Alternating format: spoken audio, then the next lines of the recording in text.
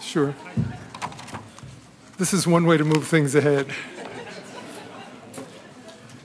This is, you've just seen an example of self-help in international law. Um, in, the, uh, in my colleague's absence, I will do the briefest of introductions, but as you'll know, this is the Charles Brower Lecture.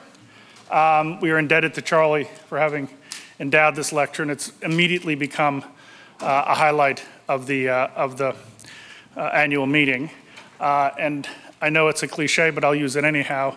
Uh, given that this is a, a lecture in international dispute resolution, there's nobody who could better suited to do it, which is why we were enormously pleased when, I guess it was a year and a half ago, actually, with Lori's permission, uh, I invited Michael to do the, to do the lecture. Uh, you will all know him. Introductions would surely um, uh, use up a time that we could otherwise use uh, hearing Michael, who surely has. I, when I think about Michael, I think of Harold's co-introduction, Harold's introduction a year or so ago uh, when they did the Lieber, and Harold said the first time I have, when I think about any legal issue on any topic, the first thing I do is see what Michael has written on it. Uh, and I thought that was a wonderful way to describe the, the status that Michael holds in international law, and particularly amongst U.S. international lawyers. So, Michael, welcome. Charlie, thank you.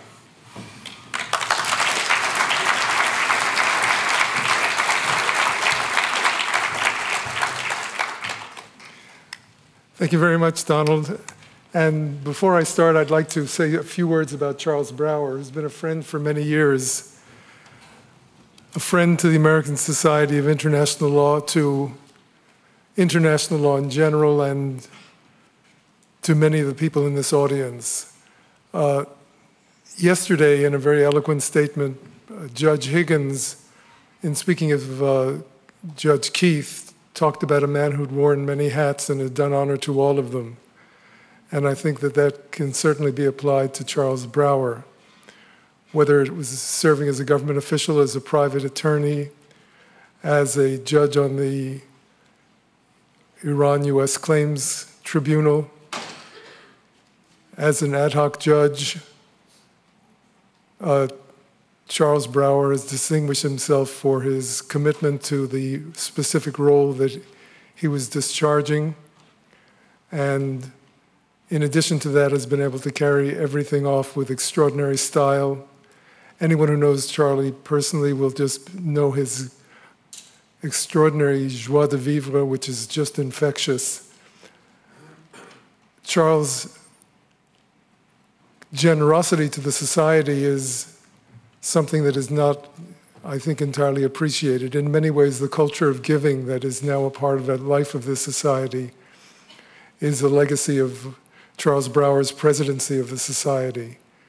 So, Charlie, I consider this a very rare privilege to speak at a lecture that bears your name, and I want to affirm my lasting friendship for you.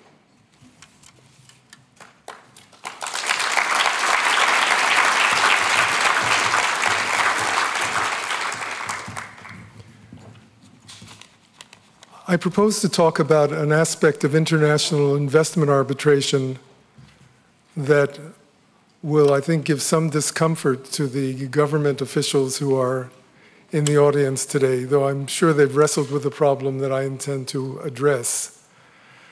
One discontent with international investment arbitration that seems to be shared by both capital importing and capital exporting states is that the investment tribunals exceed their proper limits in applying the so called fair and equitable treatment standard, or FET. I submit first that FET's vitality is a function of the type of rule that it is. Second, that the diminished capacity of states to control FET's arbitral evolution is a consequence of the democratization of the contemporary customary international law process and third, that states' efforts to confine the exercise of arbitrators' judgment in each application of FET, especially by trying to anchor it to the minimum standard, are as futile as King Canute's attempt to control the tides. Hence the title of this lecture. But to make my case, allow me to begin with two excurses. The first is from the realm of legal theory and has to do with the types of rule formulations to which lawmakers resort. And the second is a comment on the nature of contemporary customary international law as it affects rules such as FET and the minimum standard. But first, the rules. When lawmakers set out to enact policy into law, they have at their disposal two species of rules.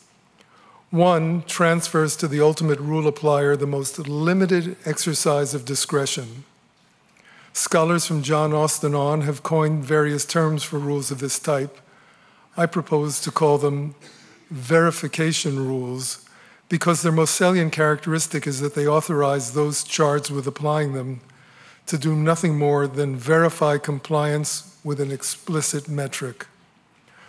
A mundane example might be that the swinging door to a washroom in a workplace must be no more than five inches from the floor.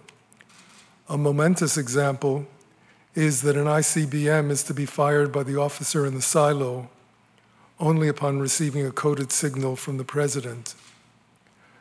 Verification rules are binary, either or rules.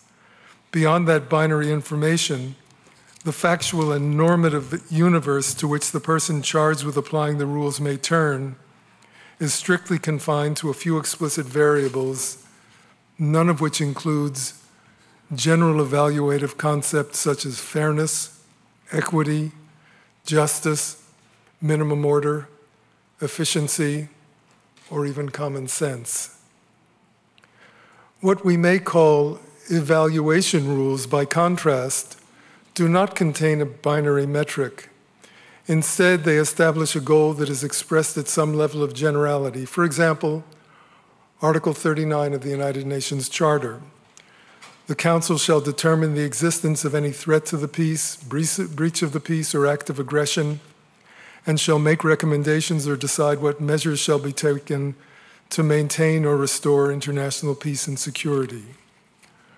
Realizing the goal of Article 39 requires its impliers, in this instance, permanent representatives in the Council, to take account of a range of variables and to exercise judgment as to their contribution in varying idiosyncratic contexts to realizing that goal that has been specified. Both evaluation and verification rules involve judgment, but that judgment is very different in terms of scope and methodology. The legislator's use of verification rules generally increases as one descends the application ladder. Resort to evaluation rules generally increases as one ascends the hierarchy. By that, I don't mean to suggest that verification rules are reserved for trivial or second order policy issues. To the contrary, they may deal with matters of the gravest consequence. Consider, for example, rules that treat capital punishment. The prohibition of capital punishment, as found in Protocol 13 of the European Convention on Human Rights, is a quintessential verification rule. Article 1 under the chapeau abolition of the death penalty states the death penalty shall be abolished no one shall be condemned to such penalty or, or executed. Article 2 states no derogation from the provisions of the protocol shall be made under Article 15 of the Convention. To irrevocably nail down the absolute character of the prohibition, Article 3 states that no reservation may be made under Article 57 of the Convention in respect to the provisions of this protocol. Now, Compare Protocol 13 to the Eighth Amendment of the U.S. Constitution. Excessive bail shall not be required, nor excessive fines imposed, nor cruel and unusual punishments inflicted. The Eighth Amendment is an evaluation rule inasmuch as it requires whoever is applying it to determine whether the death penalty is a cruel and unusual punishment. In selecting a verification rule as the vehicle for their policy, legislators wish to drastically reduce, if not entirely exclude, the exercise of discretion by those downstream who will be applying it. That wish notwithstanding, law is dialectical, and parties in adversarial proceedings often try to force appliers to introduce considerations into an erstwhile verification rule.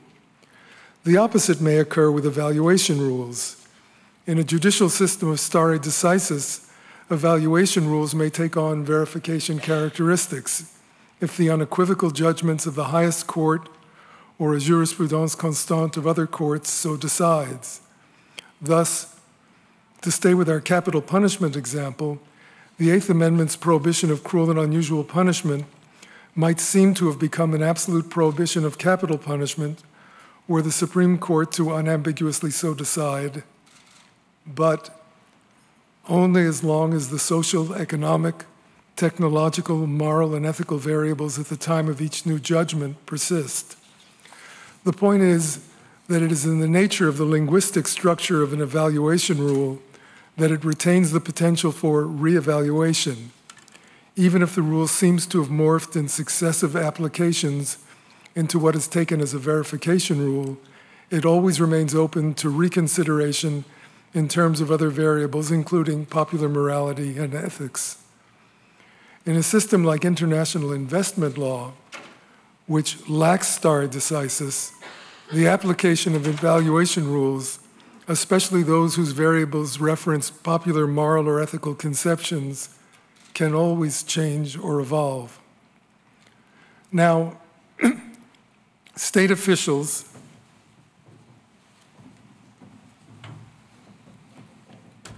Now, state officials when concluding treaties or in uncoordinated but parallel actions shaping customary international law, are obviously engaged in lawmaking. Depending on their specific policy objectives and their implementation scenarios, they will find both verification and evaluation rules useful. Both customary international law's minimum standard of treatment, or I'll refer to it as MST, and the obligation to afford fair and equitable treatment, FET, terms whose, over, uh, whose contents overlap if they've not become congruent, are both evaluation rules. Because each instance of application of evaluation rules reinstantiates them in different contexts, they can scarcely avoid evolving, a fortiori, as social, economic, technological, moral, and ethical variables change. And this leads to my second excursus, the consideration of some of the features of contemporary customary international law and their consequences for certain evaluation rules, for the tribunals applying them, and for the states in the dock before them. Hans Kelsen explained that law, nomos, can be viewed in nomostatic and nomodynamic terms. His distinction sets in relief the curiously contradictory ways in which international lawyers look at customary international law. Nomodynamically, customary international law is a video of an ongoing, informal, and unorganized process of consuetude and desuetude, of formation, confirmation, transformation, and termination of shared expectations and demands about the right ways of doing things. Nomostatically, Customary international law is one still frame of that video, a snapshot of those expectations and demands that were shaped in that informal and unorganized process of law formation. The snapshot redacts those expectations and demands as rules, but the resulting nomostatic codex of customary international law begins to blur in part and change in part the moment it is redacted, thanks to the nomodynamic process of customary international law. As a result, juridical depictions of customary law tend to be double exposures.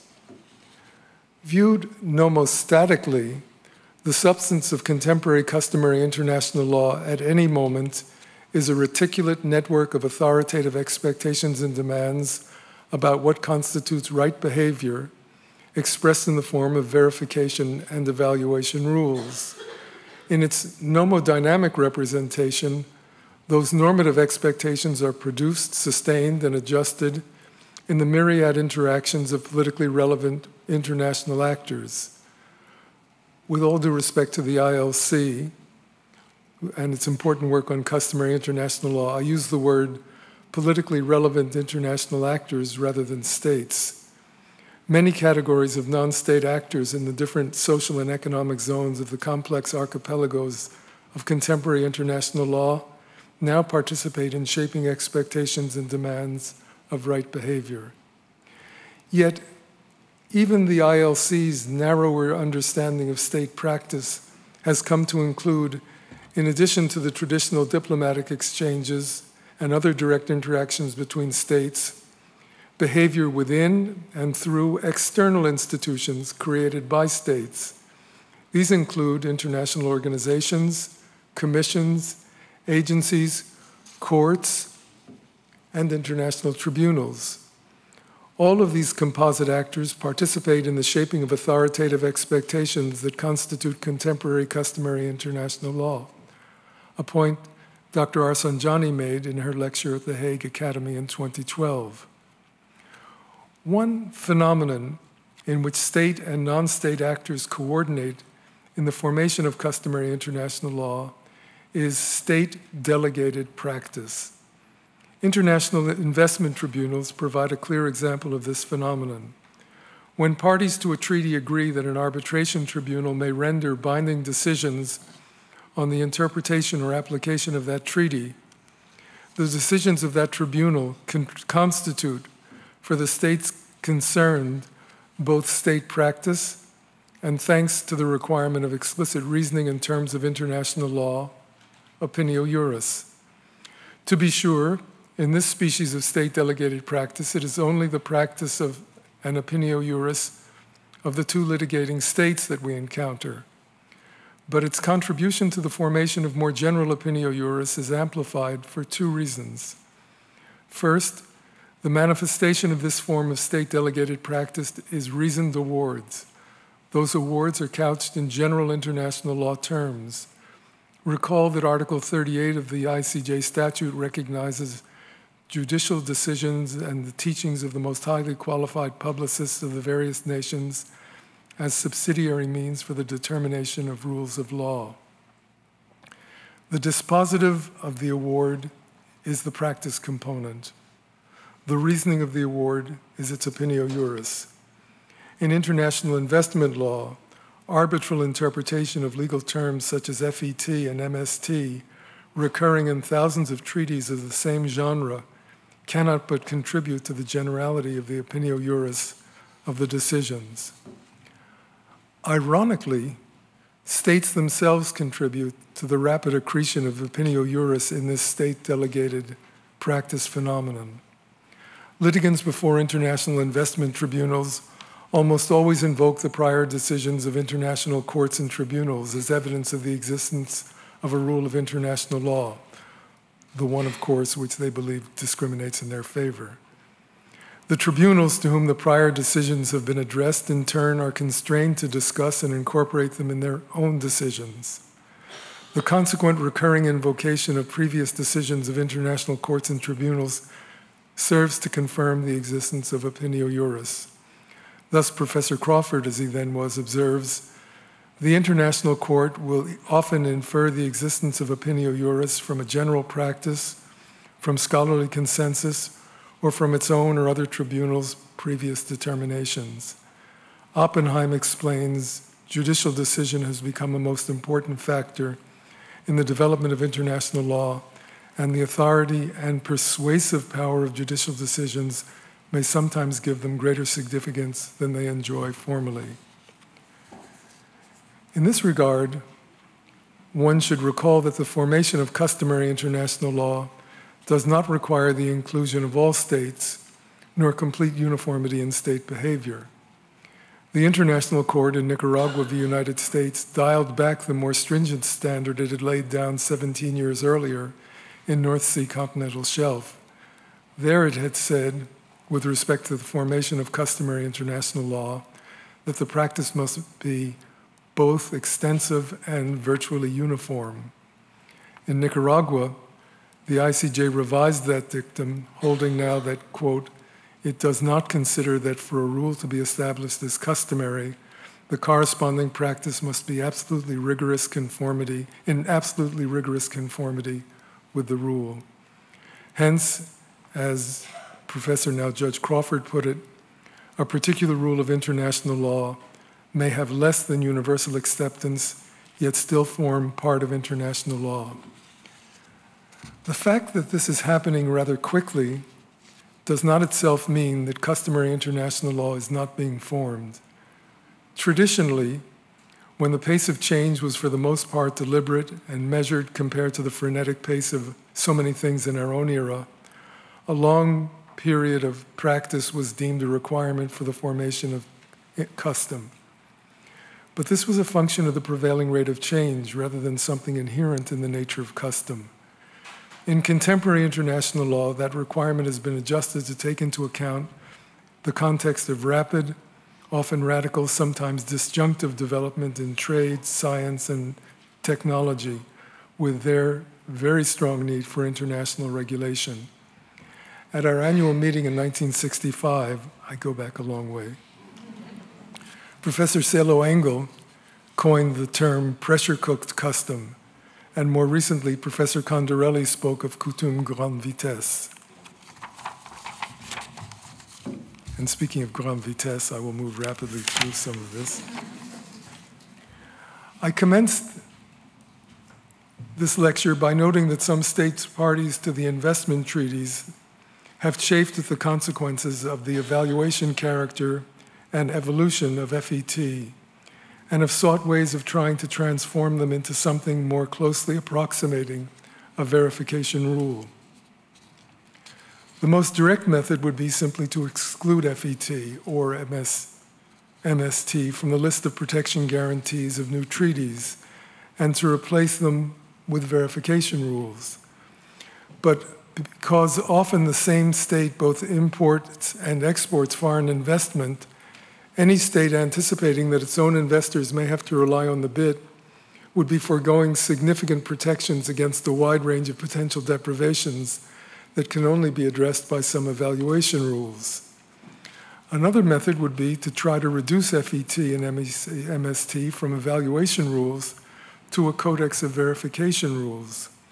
If that could be done, it would also forego the very flexibility of an evaluation rule, which is precisely why lawmakers sometimes adopt them. Still, another method for dealing with the troubling line of FET decisions would be to try to access the state to state arbitration option in many BITs, as have both Peru and Ecuador, and to seek an authoritative and restrictive interpretation of the FET clause. But even if the state to state tribunal seized were to accept jurisdiction for this revisory function, and in that process revise a treaty for the benefit of third parties who would not be represented, and even if these tribunals were then to render an award confirming one specific and restrictive interpretation, it would not extinguish the protean potential of that evaluation rule in future applications. As many in this audience will know, Canada, Mexico, and the United States have resorted to a different method. Some investment treaties put third party beneficiaries whose investments they have wished to induce on express notice that the treaty's privileges and protections are subject to change by some type of prearranged procedure. The North American Free Trade Agreement provides an instructive example. Article 2001 establishes a soi-disant Free Trade Commission, or FTC, consisting of the three states parties to the treaty. The FTC is empowered to resolve disputes that may arise regarding its interpretation or application. Article 1131 provides that while a tribunal established under this section shall decide the issues in dispute in accordance with this agreement, and applicable laws, laws, rules of international law, an interpretation by the Commission of a provision of this agreement shall be binding on a tribunal. Now, NAFTA Article 1105 famously prescribes that each party shall accord to the investments of investors of another party treatment in accordance with international law, including fair and equitable treatment and full protection and security. Thus, Article 1105 incorporates three evaluation rules the MST, FET, and full protection and security, so that it's not does not feel discriminated against. Let's call it FPS, though we will not be dealing with it. the NAFTA states parties were apparently dissatisfied with some of the interpretations tribunals were giving to one of the evaluation rules in Article 1105. So on 31 July 2001, the FTC tried to reduce its evaluation character by deciding in relevant part that, and I'll read this carefully, Article 11051 prescribes the customary international law minimum standard of treatment of aliens as the minimum standard of treatment to be afforded to investments of investors of another party. Second paragraph. the concepts of fair and equitable treatment and full protection and security do not require treatment in addition to or beyond that which is required by the customary international law minimum standard of treatment of aliens. Now, it's clear that both MST and FET are evaluation rules and can relate to the same sorts of actions that a state takes vis a vis an alien. There is, of course, a threshold difference. The customary international law minimum standard relates to all aliens qua aliens, while FET applies only to a specific category of aliens, the qualified investors of one of the nationals of a state party to one of the thousands of or bilateral, multilateral investment treaties affording that protection. Minimum standard of treatment of aliens, MST, refers to the obligation of a state to afford a common standard of treatment to aliens in their treaty, in their territory.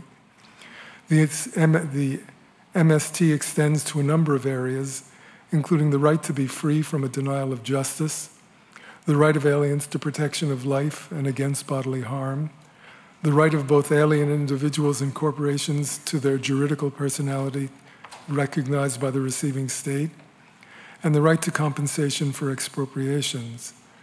MST also grants a number of procedural rights to aliens, including freedom of access to courts, the right to unbiased hearings, the right to participate in hearings, and the right to a judgment in accordance with the law of the state within a reasonable time.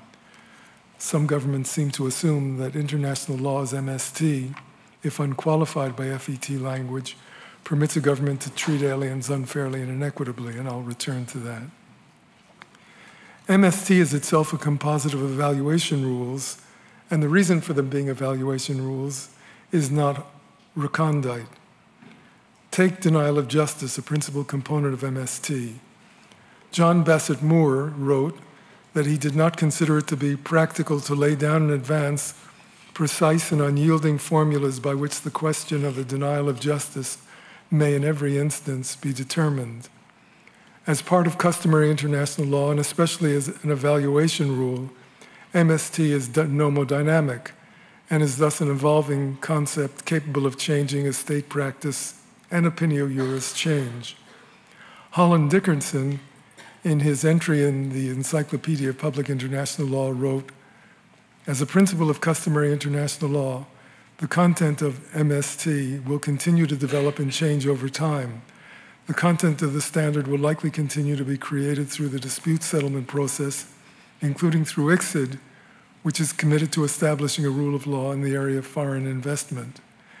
Its own nomodynamism makes MST an odd choice by the NAFTA states for anchoring FET as a means of confining the latter's evaluative character.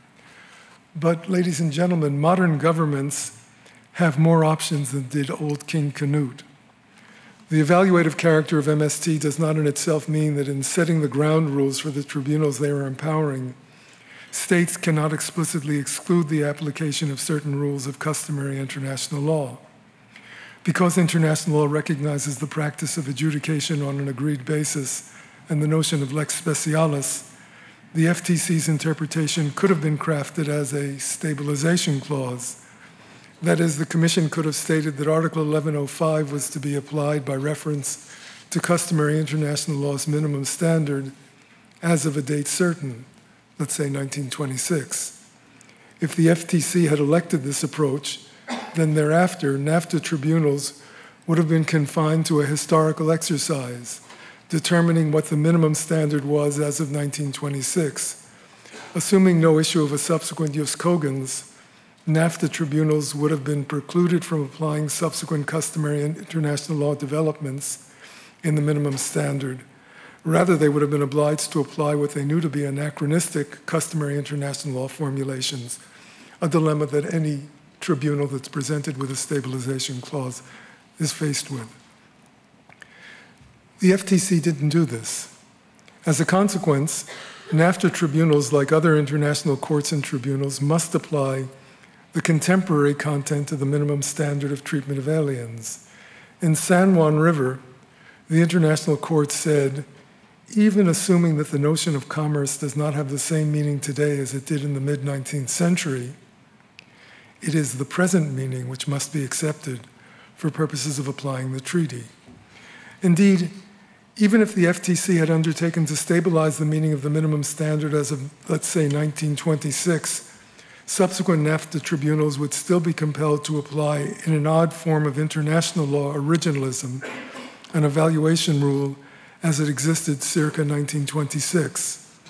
Only if the FTC had carefully formulated an ejusdem generis provision limited to very specific minimum standards, for example, something on the order of whether a detention without court order exceeded 96 hours or in a cell less than 8 by 5 meters or whether corporal punishment exceeded, let us say, 20 lashes during, administered during daylight on two consecutive days, would the evaluation rule have been transformed into a verification rule, with the result that each tribunal's ambit of judgment would henceforth be confined to confirming compliance with a single precise metric. I will not explore the Jus Cogens implications of that hypothetical but would observe that states that became or, or wished to become switch hitters, both importing and exporting foreign investment, and also sought to protect their own investors and citizens abroad, would likely pause before eviscerating the evaluation component of the minimum standard. the great irony of the FTC initiative is that the effort to supplant FET with MST has simply replaced one evaluation rule with another. The same generative force of customary international law that I considered earlier now proceeds under the rubric of minimum standard of treatment of aliens instead of the rubric of fair and equitable treatment. Tide 1, Canute 0.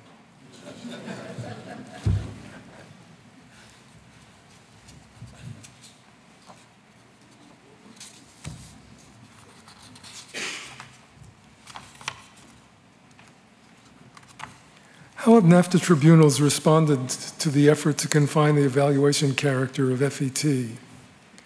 Some, but not all of the NAFTA tribunals have recognized that the content of customary international law referred to in 11051 is not limited to international laws that existed in the 19th century or even in the early decades of the 20th, but that its content, as the Mondev Tribunal put it, is shaped by the conclusion of more than 2,000 bilateral investment treaties and many treaties of friendship and commerce.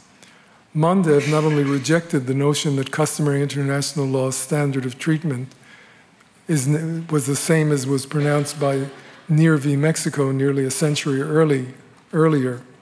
It went further, challenging the standards set by Neer as even relevant to investment disputes. For the Mondev Tribunal, the development of international law with respect to the status of individuals and the protection of foreign investment was a further reason for challenging not only the content of earlier notions of the minimum standard, but in particular the standard set by Neer. Mondev went further, recognizing the significance of the jurisprudence of arbitral tribunals in determining the content of the fair and equitable treatment requirement of Article 1105.1. Mondev was followed by ADF Group, which took many of the same positions. I won't, in the written version of this essay, I have very detailed excerpts from all of the judgments, both for and against. I won't inflict them on you. But we'll move on to. Uh, conclusion to reward you for your patience.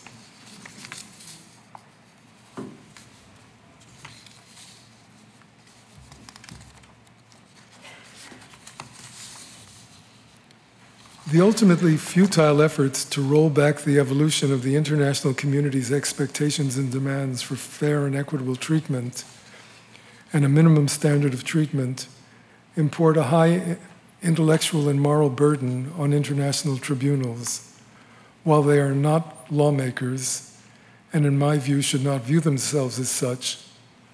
The prevalence of evaluation rules in their normative armamentarium makes them inevitable participants in the shaping of custom, customary international law. Inevitably, their decisions play a role in reinforcing or modifying authoritative expectations of right behavior. Weighty responsibility is an incident of authoritative empowerment, whether the empowered are state officials, international civil servants, international arbitrators, or scholars discharging the function assigned to them by Article 38 of the statute. Even then, while all people are created equal, not all legal initiatives are. Not all state practice, not all awards, not all scholarship will contribute to the formation of customary international law. Not all will prove efficient and prudent enough to win opinio juris. If they succeed, one component of their success will, be the, will have been the quality of the work of their respective authors. Indeed, if the rule of law is to succeed in any of its phases, every role in its process, whether international or national, requires of the individual who performs it the faithful discharge of the power and authority assigned to them. That too is a critical factor in achieving fair and equitable treatment. Thank you.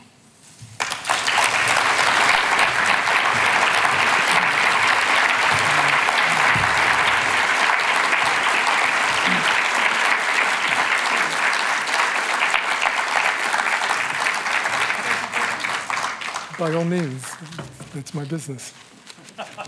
So, floor is open for questions. There's a, there's a microphone here.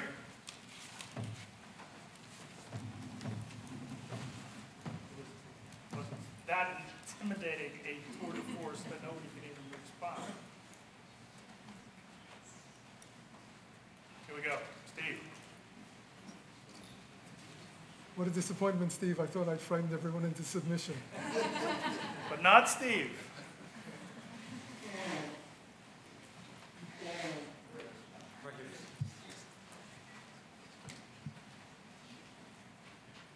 Well, I, I, permit me to say that I'm in essential agreement with your analysis uh, and um,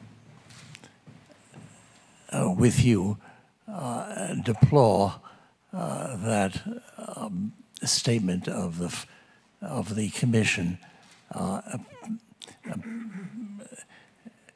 one question which occurred to me when I read that statement and its reliance on customary international law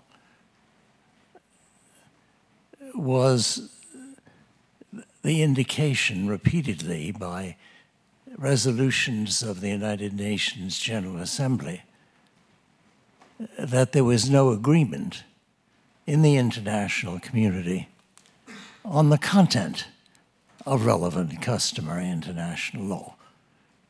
Uh, that was certified by the Supreme Court of the United States in Sabatino. And certainly, if one looks at the record of disputes in the United Nations in the 1960s and 1970s over permanent sovereignty over natural resources, uh, the new international economic order, the Charter of Economic Rights and Duties of States. It's perfectly plain uh, that while the traditional capital exporting states had one view of the content of customary international law in this sphere to which you've referred. Many other states, whose numbers exceeded those of the capital exporters, not only had a different view of the content of customary international law, they took the position that there was no customary international law. Uh, in the light of that fact, was it not odd that the um, commission interpreting NAFTA uh, nailed its standard to customary international law rather than the particular provisions of NAFTA and other investment treaties? That's my question.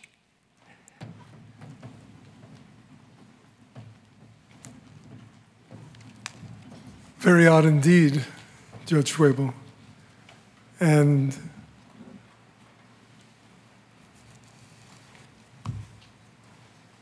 very odd indeed.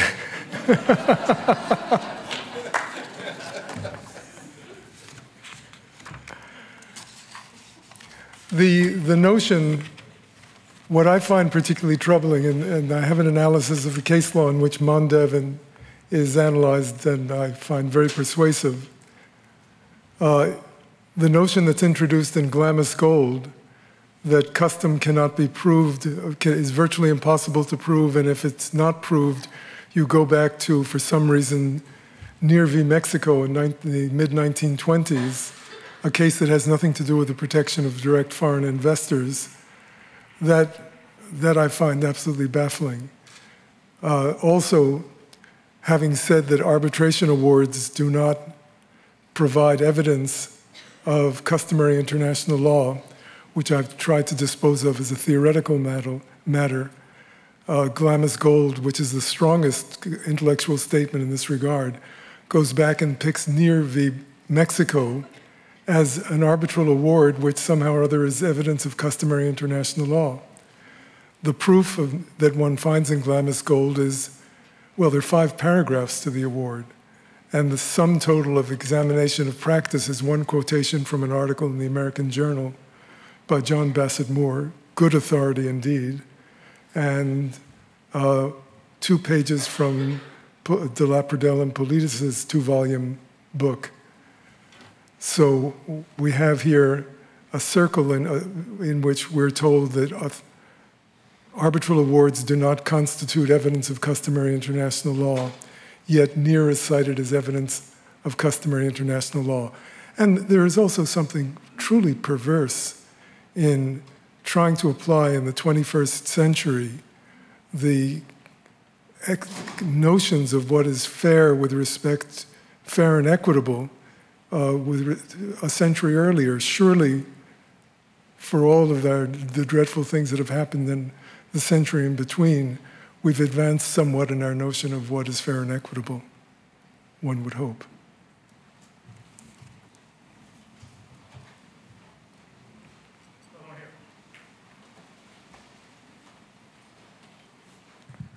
Uh, Patrick Norton. Could you elaborate a little bit on your, your thinking that arbitral decisions are a form of delegated state practice? That is, I, I understand that states that, that have set up this process are bound in the particular case by the result, by the dispositif, if you will.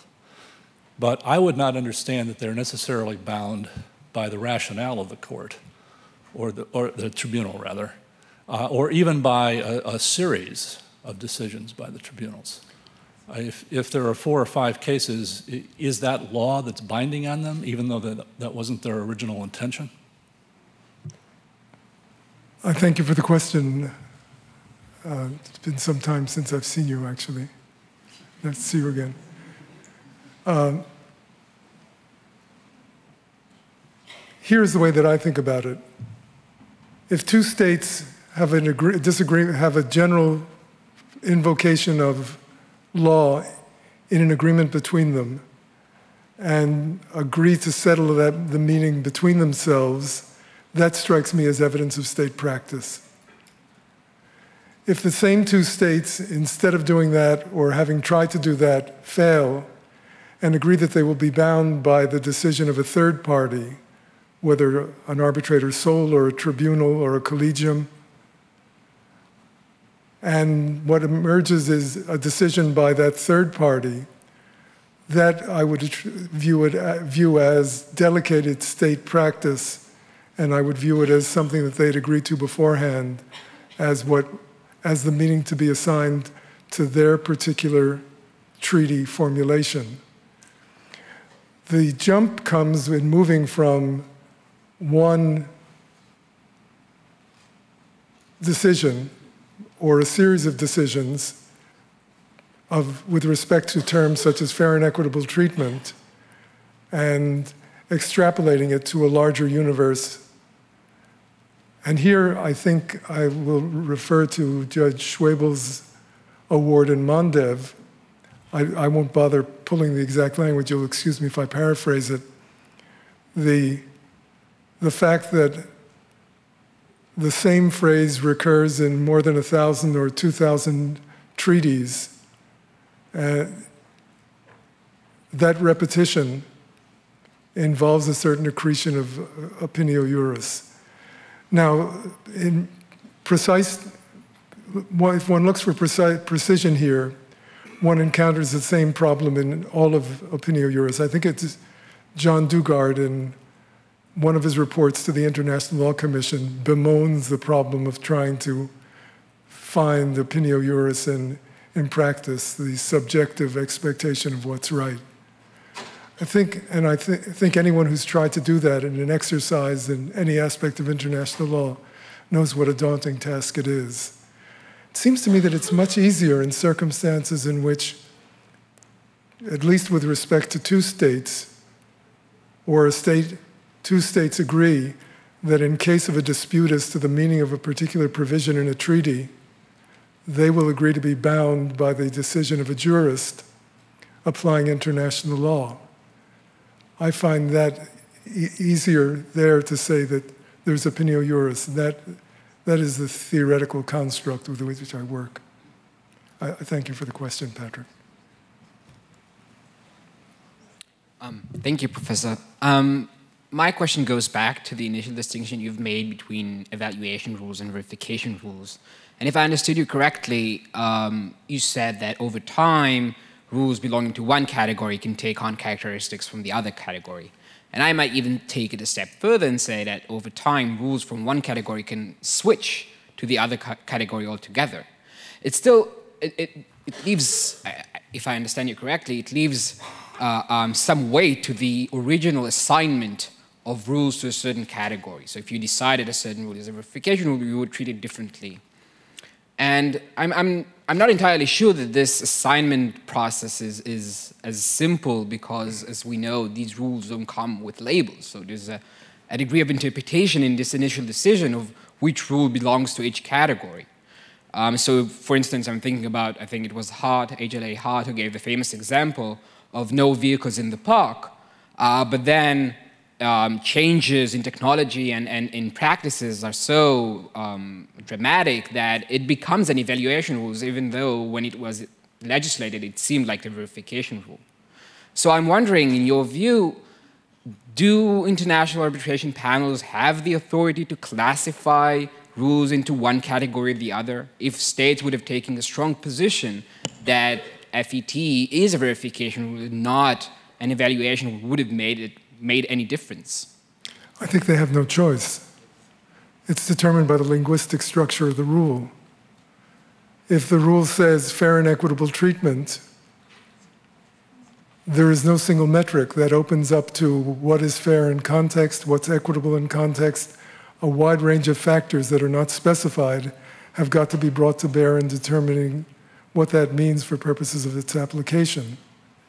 On the other hand, take a customary rule verification rule the first part of this century and the previous, last part of the last century, of the 19th century, uh, the territorial sea was three nautical miles. That's a verification rule. Very important that it be treated as a verification rule. Bynkershoek's alternative that the territorial sea is the length of a cannon shot doesn't have that precision. So I, I, think that you have no difficulty detecting what is a, an evaluation rule when, you, when it comes to applying it. By the same token, you have no difficulty in understanding what a verification rule is when it comes to applying it.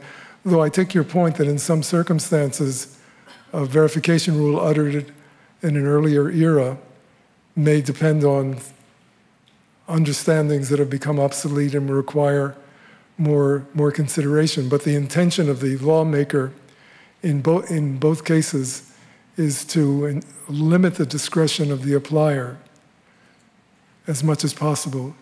With an evaluation rule, the intention is to give the applier, given the nature of the subject and the policies pursued, give the applier a wider discretion or broader scope of judgment. Thank you for the question.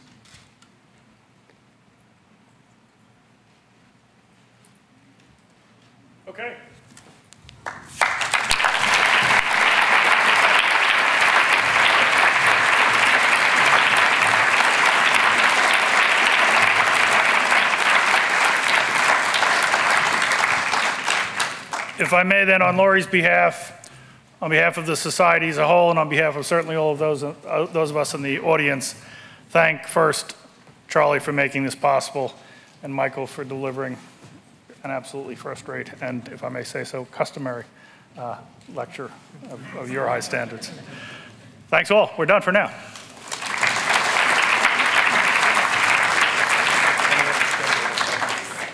Oh, no, I just thought I.